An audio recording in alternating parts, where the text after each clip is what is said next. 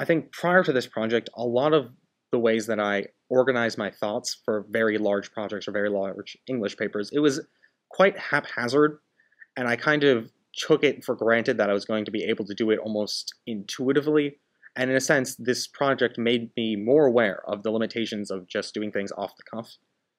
You know, they're sitting up and you can't write, you know, a 30 what page paper, you know, in a night. It's just not it's not possible. And a lot of people left the work, you know, to the last few days and it's I think if you just followed the steps and um, and the times that um, that they set for us. Um, it was really, you know, a fair um, gauge for time, and also, you know, it wasn't hard to meet the goals because of the amount of like time and assistance that they provided us with, um, and that they were so open to helping us um, to complete that it wasn't that we didn't have enough, you know, guidance or help to complete it. It was more of, I guess, the motivation to complete it that I think is important. So if you're not motivated for your topic, then obviously it's going to be very difficult to complete the paper on it. I think I didn't manage my time to the best of my ability in the beginning, and therefore I got a little behind. But Miss Schmidt helped me uh, catch up, made sure that I got everything done by the deadlines. So once you get the lesson and it's thoroughly explained, the entire thing comes very easily. It's not difficult to do once you have instruction now that I've done it once, I feel that I could go find another topic and write another one and have it done in a matter of days. It it takes a while. The process is long, but we go into a lot of detail on each aspect. So now when I go to college, if I have a paper due in a week, I'll be able to efficiently go through and get every single thing done uh, very thoroughly because of this. Well, Mrs. Schmidt, she does a really good job of breaking down the steps so when I start when we started the project, I never would have believed that I could do it. So I learned so much about myself and that I'm so much more capable than I thought I was. And um, it's going to be really helpful in college because my brother, he's a freshman, and some of his friends at college, the longest paper they ever wrote was just two pages. Uh, someone brought the book to college because they had to write a scientific literature review, and he ended up teaching all the students about it. It was pretty funny. So I'm expecting that. I hear from everyone else who goes to college that uh, there's a lot of this kind of paper. The research that we do now basically prepares us for it pretty well. Um, makes me a lot less worried about college, the workload. The transition should be easy. You know, don't lose that experience that that you um, get from doing this. You know, I've been able to put it on college applications, um, on all sorts of um, different, you know, scholarship opportunities, things like that. And it's definitely, you know, I really think that it's made a difference. Um, I'm actually undecided, yeah. but I would love to do end up doing some sort of medical journalism. Um, just writing about new developments. So, and that was pretty much what this was. So, yeah, yeah. Um, so I might end up pre med actually. Guided inquiry was developed by Professor Carol Kuhlthau at Rutgers University. This was based on a 30 year period of researching how young people engage with information, connect with it, develop understanding of that information, and construct their own understanding, typically built around curriculum topics. Over the last 30 years and through multiple research studies, Professor Kuhlthau has formalised this work in terms of guided inquiry. It's built on her research model known as the information search process. Guided inquiry is an instructional framework that engages students in a rich information to knowledge journey. It's a different approach to engaging students in formal school based research.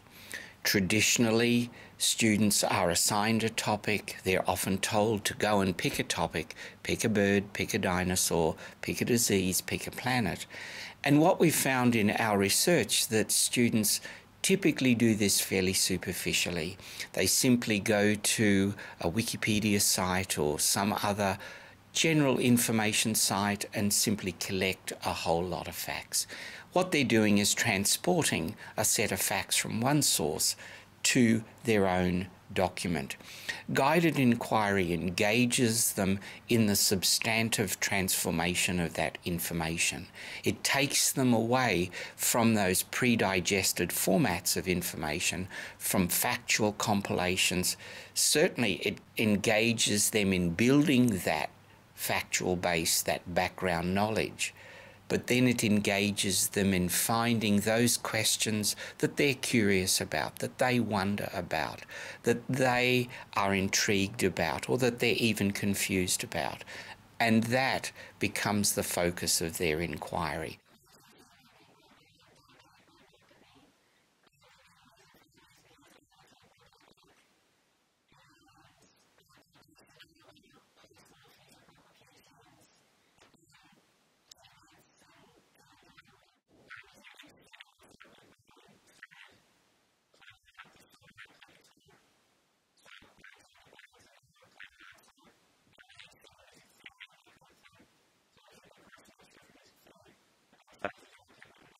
I became interested in this topic um, because, well, after seeing um, the movie Girl Interrupted, um, because the main character, um, one of the main characters, has um, borderline personality disorder, and still today it's one of the disorders that not much is known about it.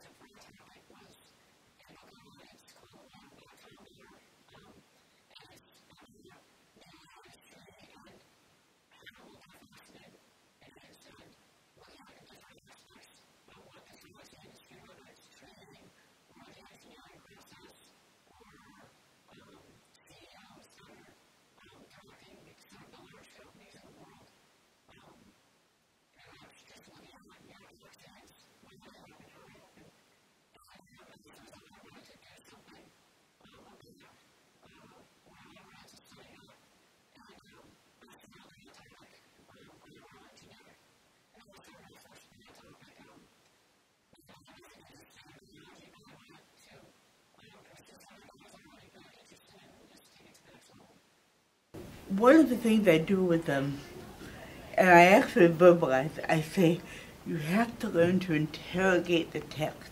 Yes. You yes. have to learn to not, not necessarily not trust the text, but interrogate it. And so you we build into the assignment the fact that they're looking for omissions.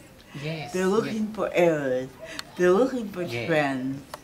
And that helps them really to to think in a different way about what is a very daunting bunch of material. And, and, and, and that's what they, you know, it was very interesting for them to all reflect and say, uh, this was so daunting, but the fact that it was a staged process. Yeah. And this is part of the whole inquiry framework that it is a staged progress, and you can move feeling that you're making progress. I've had kids who are not nearly as accomplished as she, who have uh, attached their papers to college applications, and then they come on and back and say, Mrs. Schmidt, I got a research scholarship just because colleges are not used to seeing this kind of stuff.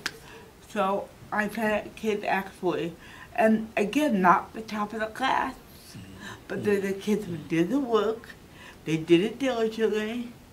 It, it is surprisingly pretty formulaic. The kind of paper is a very formulaic hmm, paper. Hmm. But it's a process, it's a staged process. Yeah. So it takes them along. And that's what they were all saying. If you follow the process and get the help that you need, you're going to get to the end product. And so they understood the process and the value of that process. What was very interesting was the number of students who at the end said, I'm really proud of my work. That's internalizing the Yeah. learning, isn't Yeah. it? It really, when they come away, they have such pride and such a sense of accomplishment, acknowledging that when they first started out, this was terribly, terribly daunting. And then for them to say, I'm really proud of what I did.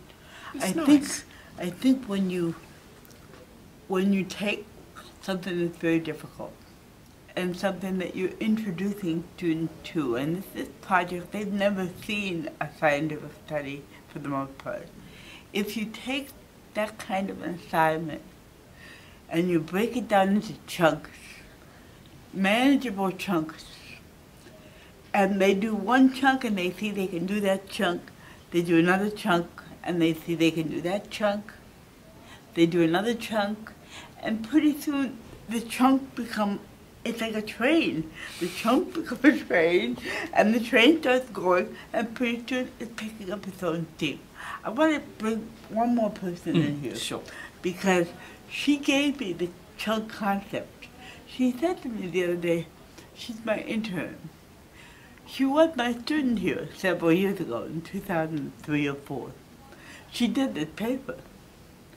She said, Mandy, do you always teach by chunks? And I think I do. I always teach by chunks. I think that the most important thing is to get them to understand that it, although it's a long process with a big final product, everything can be done in chunks and you can break everything down. And once they realize that we have a whole master plan for them and that they, um, they can do everything in, in small pieces, then at the end it all comes together in a way that makes more sense to them and is more meaningful, I think. What they also acknowledged, I think, was that they were never left alone to struggle. All of them picked up on the sense of that there's help available. We can go to our teachers, we can go to our school librarian, and they acknowledged that that help was very, very supportive in helping them move through the various stages. And I think that's a really important uh, thing to learn when when students undertake such a large research project that often they feel that they're left to their own devices. That here there was that sense of help that was nurturing them along and, and building their self-confidence and building their sense, yes, I can do this. That was a very important thing that the students conveyed. You know, the guided inquiry concept, I often use the model of Sacagawea. Sacagawea was the Indian woman who I think was 19 at the time the journey started with Lewis and Clark. And she took Lewis and Clark to the other side of the continent. She had never been to the other side of the continent herself. So as a guide, it wasn't as though she knew everything. We don't know everything the kids are reading. We don't know everything about this stuff. Oh my goodness. we, we are not experts on what they're doing. But because of that, there's something very comforting for the student about that. Because what we're doing is we're going through, we're saying, come on, you can do this. Mm. We'll, we'll mm. help you. Mm. But we can't tell you because we don't know ourselves. We're just guiding you. We're giving you the fundamentals to find the other side of the continent or the other side of the information wilderness, as we call it. Hmm. And, and so when you're guiding, it, it does help to explain to the student that they're not alone. That that that you're not. We're not going to leave you to get lost. We're not going to leave you to get to, to get eaten by the lions and tigers and bears. We're going to really take you step by step or chunk by chunk or however. I could not do this project by myself. It's a very labor intensive mm-hmm. project. The teachers are helpful.